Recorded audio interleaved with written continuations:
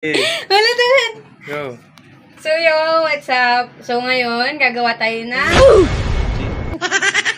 Tarihan nyo! So, yun, what's up, mga peeps? Ngayon, gagawa tayo ng screen... Side... Ang aga-aga baka siyansihin ko yung gilagid mo dyan. sliding screen door. Nice. Let's go! Samahan nyo kami!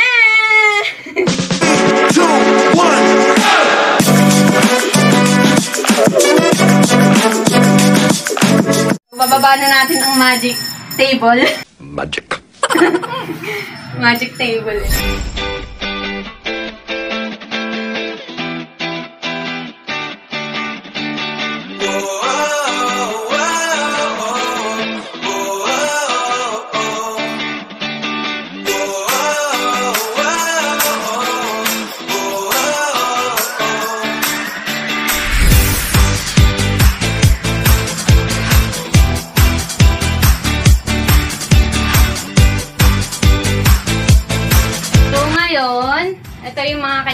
Nating gamitin.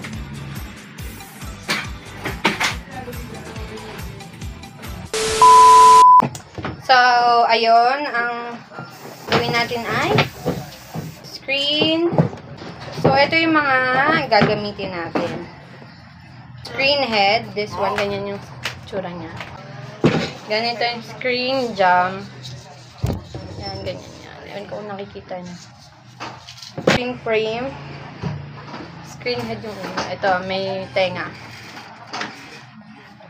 Ito yung screen divider. Yan, dalawa yung tenga. Tapos mga handle, plastic handle. Sa magkabilang gilid. Tapos ito yung corner bracket. This, this one is tension roller. Ito yung gagamitin natin sa gulong ng sliding. Yan lang. So, ayan. Kinakat na po niya.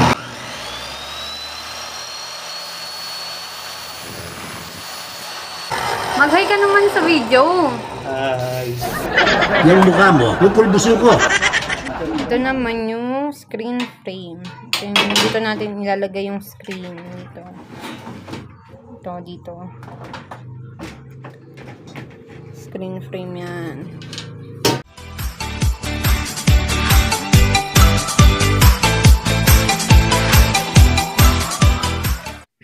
Yan. Ganda. Wait lang. Yan. Kailangan nakakantomesa siyang maigi. Biko, palitaw! Bibigyan ko ba? Pagka na, nasudsud ako nito, ano mangyari? Yan. Oh, tama na yan. Ako na yan. So, ganon! Para sisira ulo. Ano ba, ano? Butas na, later. Ah, wait lang. Babies.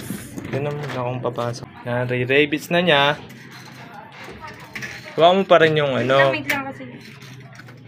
Huwag mo pa rin maigi. Ano, kaya na isang kamay, inday. Ba, lakas ah. Lakas ang pang-grip ah.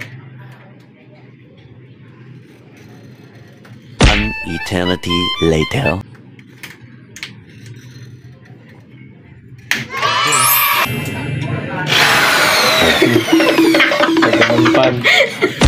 Barinig kita sa mukha eh. Ito ang kabila. Hmm. Yusin mo yung kanto mesa muna.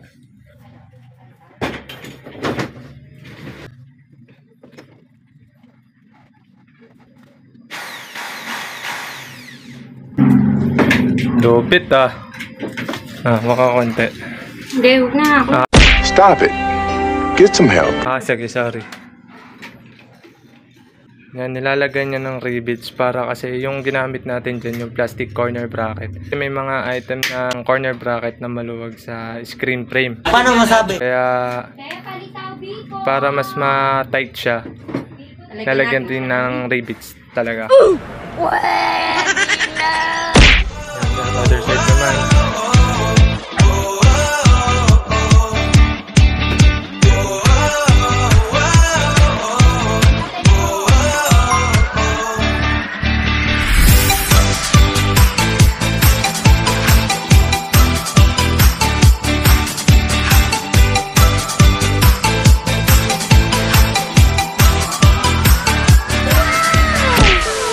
Niya, ang tawag dito ay tension roller. Gamit natin yung plastic roller. With screw siya. Yun na yung pinakang magtutulak sa kanya para umigpit siya.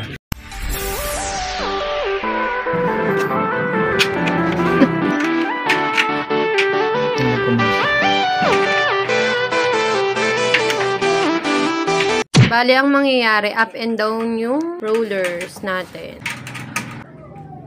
Naayos lang po ng rollers. Yun na.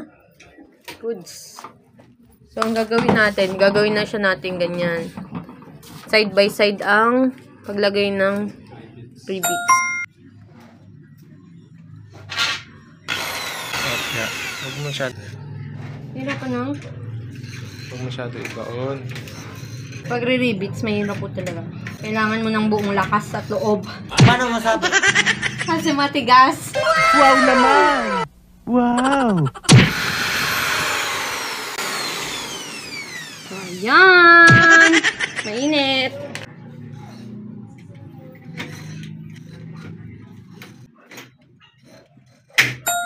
Ba, ang hirap.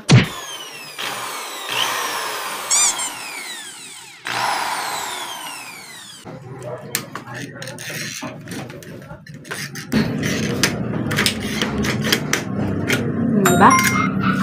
Pasok! Na. So, rollers tayo dun sa kabila. Kakabit natin to. Rollers. Si Justin muna ah, magkakabit ng rollers kasi baka tayo makaputol. So, putol natin yan ng ko. Yari. Tinatanggal muna yung tornilyo sa gilid.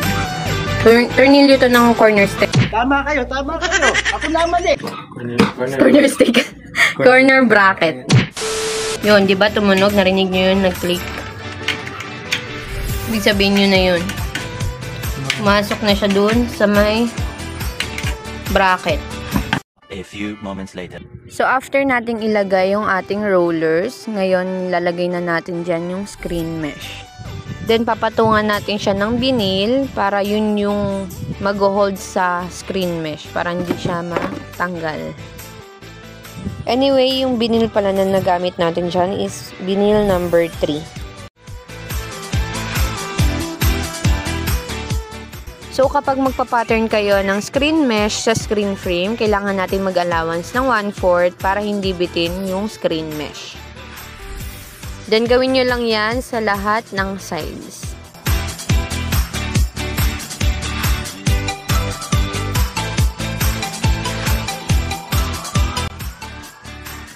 Ito na ang finished product. Salamat sa panonood!